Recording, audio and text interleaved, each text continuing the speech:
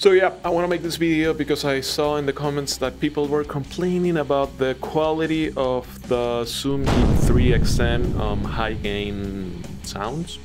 Either that or that they just didn't knew how to make this unit sound good. And I know that this is not an Axe-Fx or a Kemper or anything like that. It's just a $150 unit, but I, I, I know that you can get a pretty decent sound out of it.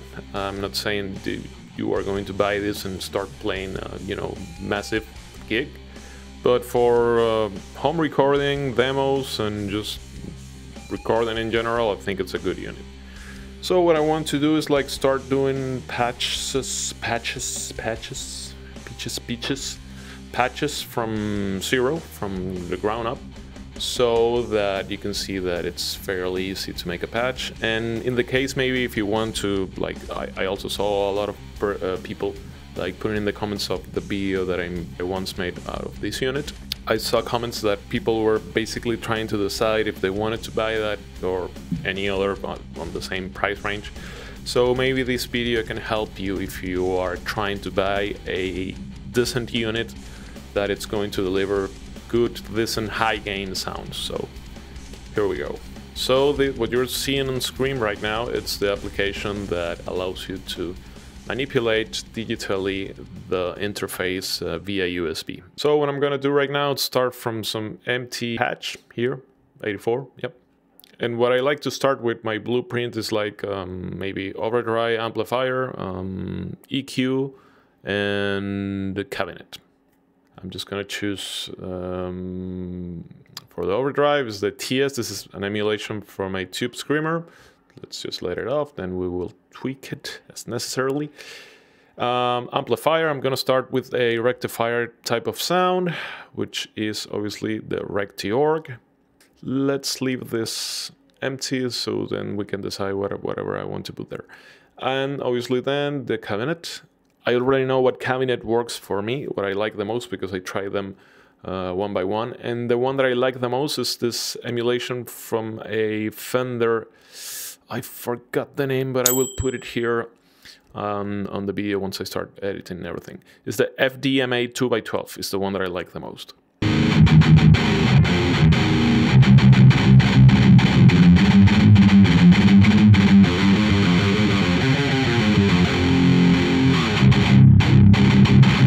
Doesn't sound completely bad, but there's a lot of things that we can tweak to make that or this sound better.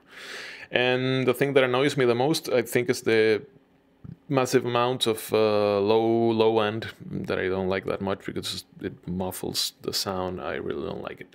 So I'm gonna start with the amp first. I'm gonna leave the cabinet just the way it is, then I will tweak that. I think there's too much too too much bass. Gonna put that to 30 perhaps.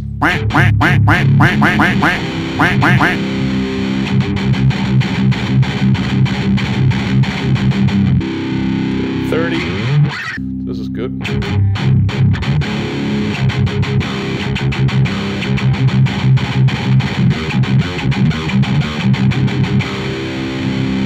presence. Um, I'll leave it at 50 perhaps. The gain, um, I might just take a little bit of gain out out of the equation because then I'm going I'm going to add um, tube screamer and everything is gonna go just crazy. Sounds a little bit weak, then with the overdrive it's gonna sound different.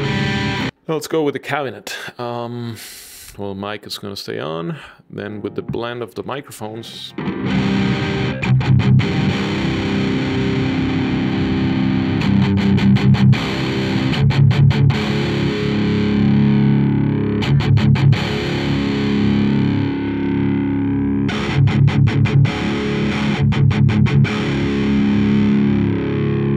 The EQ, let's see.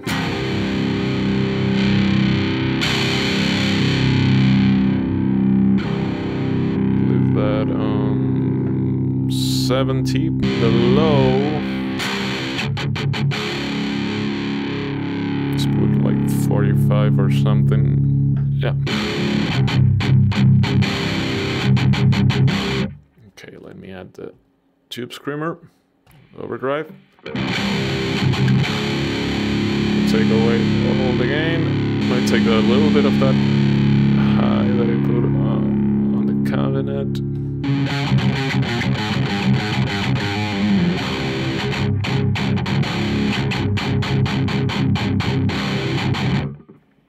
Like it. I like it this way. Let's try the modern mode. No, staying with the vintage. Okay, I like the way it sounds. So what I want to do right now is want to compress a little bit the signal coming out of the amplifier. Let's try with the rack. Let's see. Ratio 6, 6 to 1. Well, way too much. Let's see how it sounds. Oh, it's being completely drowned. Now let's go like a little bit. I don't want too much. 2 to 1.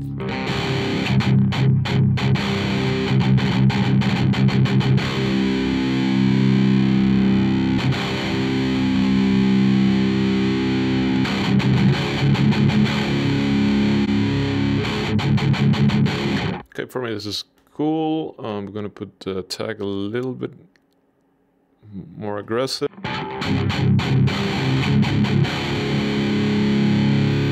Without a compressor. With the compressor.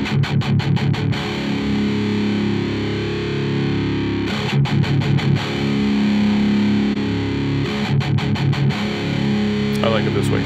Okay, so so far we have overdrive, amplifier, um, compressor, and cabinet. Let's be a little picky and let's add like an EQ. Let's roll off like uh, 100 hertz to see we end up with. Just take just a little bit, maybe 2 dBs. Okay, um, let's like in 1K at maybe 2 dBs.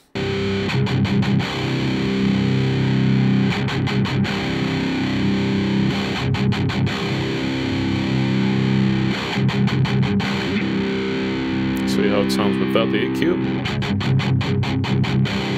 Lot more of low end, no.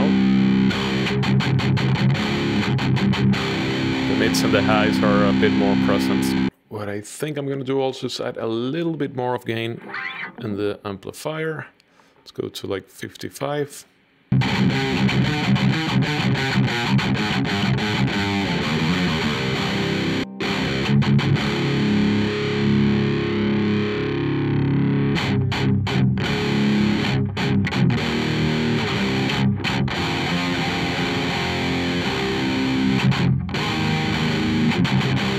Got too much of high end there.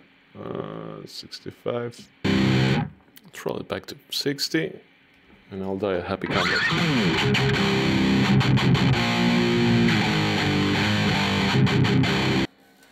Yeah, I'm happy with how it sounds. I know that obviously I'm going to tweak anything if I use this uh, the same patch to record. I'm going to tweak something on the DAW because it's more precise and there are things that um, are easier there. And I made this video especially for those of you who want to like, um, who are thinking of buying this unit. If you want to practice with it or if you just want to have it there as a backup unit. So I hope that this helps you decide either to choose this unit or to go with another unit that you like better. And that's it. Thank you so much for watching. Another thing, um, on Sundays I'm also doing the death metal section, which is basically grabbing a non-metal song and doing a death metal cover. And it's a lot of fun. I really like doing that. It's also very hard. So stay tuned for this Sunday. It's going to be a new song. Um, last Sunday was a country song by David Allan Coe. That's a song that I love which is Mississippi Woman. So if you haven't seen the video click here and watch that thing. Anyways thank you so much once again for watching this. Um, like and subscribe if you haven't. Have a great weekend, enjoy with friends and good beers and good music, headbang like a maniac and break your neck.